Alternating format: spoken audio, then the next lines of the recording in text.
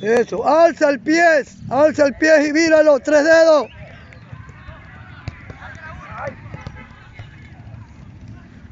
Está pegando mal, oye, acá es derecho, el otro izquierdo.